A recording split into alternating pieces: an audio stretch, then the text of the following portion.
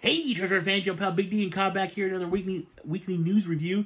This is going to be for the 13th of April and the 20th of April.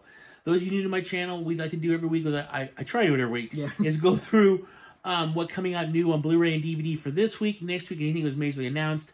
There hasn't been a whole lot coming out. Matter of fact, today there's not a whole lot either. They're kind of, we're just in that weird time of the year. This Yeah. is always like this, is regardless of anything else, is always like this. So But in summer, he'll be yeah, summer it'll pick up, and as the movie theaters are starting to open up now, you start to see more of the blockbusters come out, so more stuff will start to come out.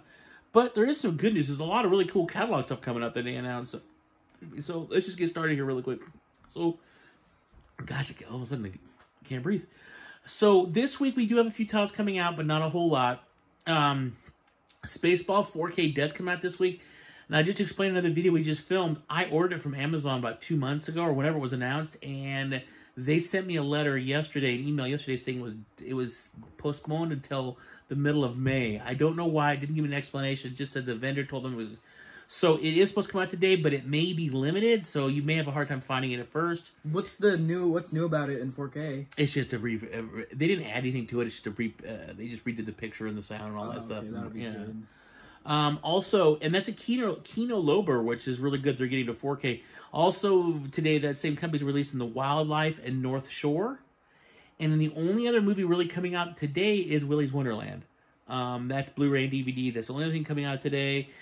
It was a pretty dry week. As for next week, the 20th of April, we've only got uh, two titles, to be honest with you. And yeah, one's called one's a Criterion release called The Furies, which is a movie made in 1950.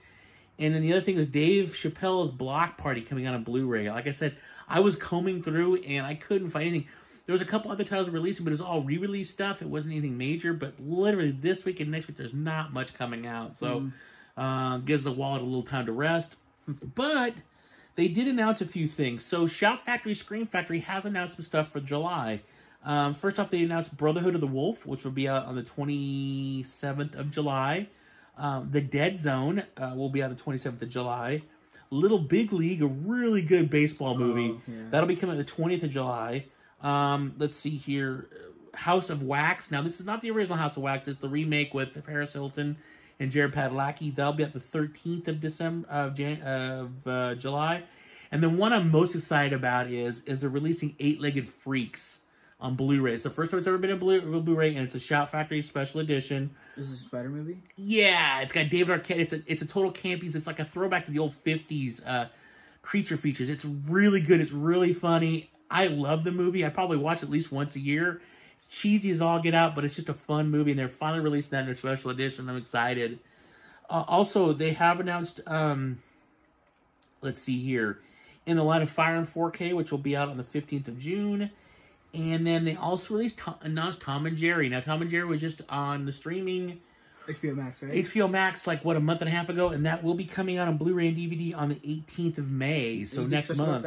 Um, they're gonna some special features, some deleted scenes and stuff like that, but nothing, you know, I don't think anything overly major. But that is it. Um, again, they're not releasing a whole lot right now. We're in a dead time of the year, and when you don't have a lot of, we don't have a lot of theatrical stuff coming out. It's kind of it's kind of slow.